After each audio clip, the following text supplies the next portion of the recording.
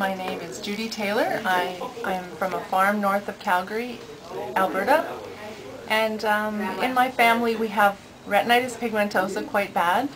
My dad is blind and his grandmother brought RP from England. Um, there are over 40 of us going blind or have gone blind over the years and um, so we've done a lot of research trying to find answers. There was nothing that could be done when I was diagnosed at 25 and my two sons at before they started school. So we watched, did a lot of research, tried to find answers, have binders full of information, and we have um, finally found Dr. Yu on the internet.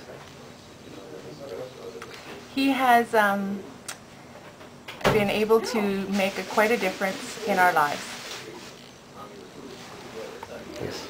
Um, two th 2004 November is when my sons and I started to come to Dr. Yu and we came for two years, every three months, 10-day treatments every three months.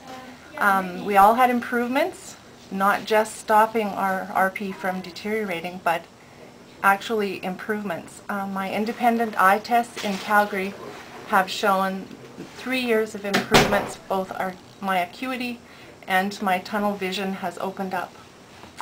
And my prescriptions for my very strong contact lenses have um, decreased over these last three years. So how has it changed my life? It has given us hope. Uh, first of all, just hope. It has been amazing. And um, it has given us um, the opportunity to have the electricity that runs our heart and our retina um, stimulated so that the eye is working again and so that the nutrition can get through to the eye. And so we're just thrilled.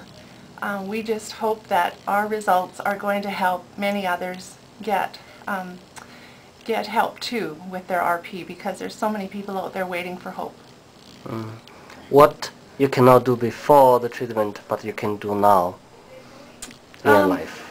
I couldn't thread a needle with my sewing machine and I'm back sewing and that was my dream was to be able to sew again. And um, tw 15 years ago I was getting so I couldn't read very well. Um, I'm able to read whatever I want to now. I'm able to see my grandchildren's faces and I'm supposed to be blind by now. So any any improvement is just a miracle to me How about driving? Any change with driving? Um, yes, I couldn't drive, uh, I only was driving daytime, and now in the dusk I can come home at night if I'm helping my dad who is blind and I get, and I'm out too late and I need to get home, there's no problem driving now in the dusk where before I couldn't.